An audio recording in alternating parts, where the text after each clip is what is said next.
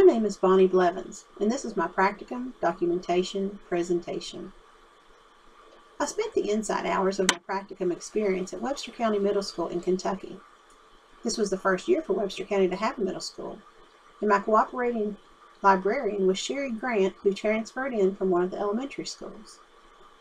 The library was large and roomy, and the circulation desk had plenty of room and great storage drawers.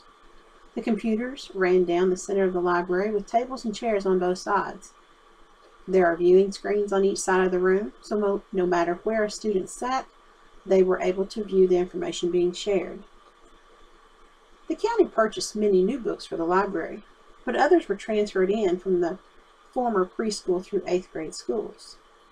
While the books pulled from the preschool through eighth grade schools were for the correct age group, some were in poor condition and needed to be repaired. When I walked in the first day, Mrs. Grant showed me many cabinets of books, which needed to be evaluated for repair and then processed for the shelves. I thought this would be a great project to work on during my inside hours. I processed a lot of books during this time. I printed spine labels, removed old barcodes and spine labels, put on new barcodes and spine labels, put on label protectors, stamped books, and made sure all books were in Destiny. I would shelve books early in the day before her regular classes started. In March, I was able to go to an OPGES professional development.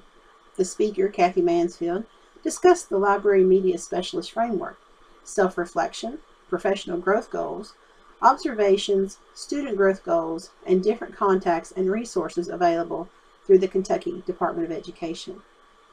During this session, we were able to work in small groups and practice making professional growth goals and student growth goals. The day was a great learning opportunity. I feel like that I understand the new system that will be in place for next year. After completing the 40 inside hours, I worked some in my library. I am currently working part-time as an elementary school librarian. On the days that I'm off, I went in to straighten shelves, shelve books, process new materials, place material orders, and download MARC records from Titlewave. The first day I went in, when the library is normally closed, I was surprised by how many students came in. Many came in to check their books in and get new ones. Some used the computers, and even a teacher asked for materials. During this time, I was able to begin a lesson on the weather with the third grade. The third grade teacher was teaching the subject, and she was glad to have someone help her with the information.